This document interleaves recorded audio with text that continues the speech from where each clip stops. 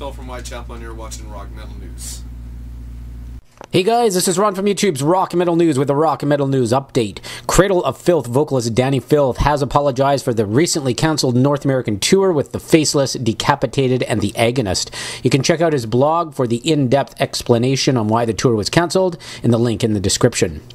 Between the Buried and Me had a guest on stage, which was Adam Fisher of Fear Before, during their show in San Diego, California on February the 25th. Fisher sang on the reprise for the track prequel to the sequel. You can check out fan film footage in the link in the description. Here's some cool news. As I Lay Dying's Tim has a new side project called Pyrithion. The band features uh, Allegaeon, guitarist Ryan, and ex Embodyment, uh, and the Famine guitarist Andrew Godwin. Uh, they will release their debut EP, The Burden of Sorrow, in April through Metal Blade. They are also working on a full length, so stay tuned. It appears from a recent tweet that some writing has started for Whitechapel. Uh, stay tuned for more information on that.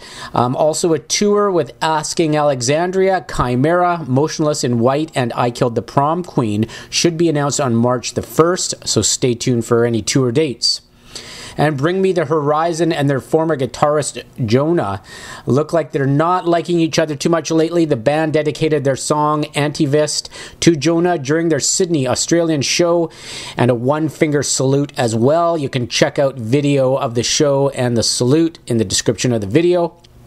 And Fear Factory have announced additional dates for their spring North American tour with Hate Eternal. Check out the tour dates in the description of this video. This is Ron from YouTube's Rock and Metal News. Thanks for tuning in.